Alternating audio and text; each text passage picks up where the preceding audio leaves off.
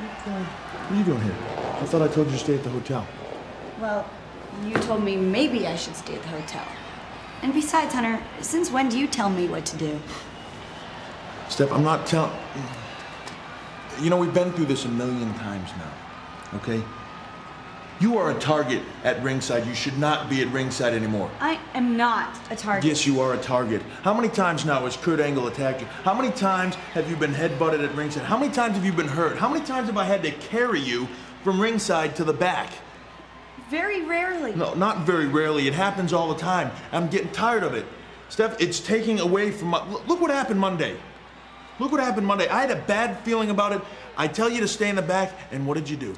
You came out anyways. Well, and you were in trouble. It doesn't matter if I was in trouble or not, Steph. You came to ringside, you got in trouble, and I had to protect you. And what happened? You cost me the match.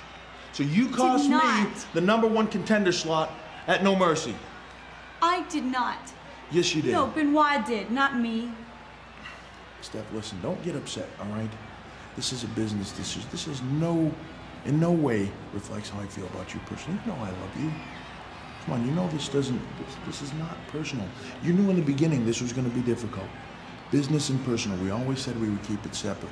I don't want to see you get hurt out there. Okay, so I want it to be separate.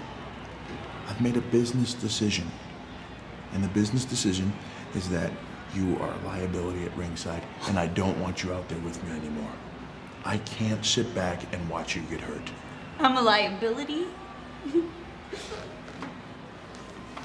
maybe I just shouldn't even be here at all then. Steph.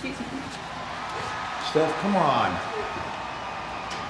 I'll see you at the hotel.